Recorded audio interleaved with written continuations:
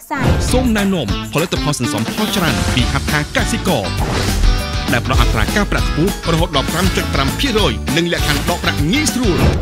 ពស់ដ៏ធំមួយក្បាលប្រវែង4ម៉ែត្របានងាប់ក្រោយប្រឹងលេបសត្វកម្មប្រមាទទម្ងន់ប្រមាណ14គីឡូក្រាមហើយបានមុតរហ័យផ្នែកខាងក្នុងពោះរបស់វាដោយសារតែប៉ាន់នឹងបន្លាដើម្បីស្រួយលើខ្លួនសត្វកម្មប្រមាវាត្រូវបានគេប្រទះឃើញងាប់ក្បែរផ្ទាំងថ្មមួយដុំស្ថិតនៅតំបន់អូសៀនឡាអ៊ីឡែននៃប្រទេសអាហ្វ្រិកខាងត្បូងពោះវារបស់ពោះថ្លាន់បានដៃរហ័យនៅពេលដែលព្យាយាមរំលាយអាហារហើយប៉ាន់នឹងបន្លារបស់សត្វកម្មប្រមាយ៉ាងណាមិញប្រធានគ្រប់គ្រងអូសៀនឡាអ៊ីឡែនលោក Jennifer Fuller បានបកស្រាយថាមូលហេតុពិតប្រាកដដែលបណ្ដាលឲ្យពោះងាប់នៅមិនទាន់ដឹងច្បាស់នៅឡើយទេយើងឃើញច្បាស់ថាមានបន្លាកម្មប្រមាជាច្រើននៅក្នុងពោះវារបស់វាតែយើងមិនបានដឹងទេថាតើវាងាប់តាំងពីមុនពេលឬក៏ទៅតែងាប់នៅក្រៅពេលដែលបន្លាកម្មប្រមាថធ្លាចូលក្នុងក្រពះពវៀនរបស់វានោះទេ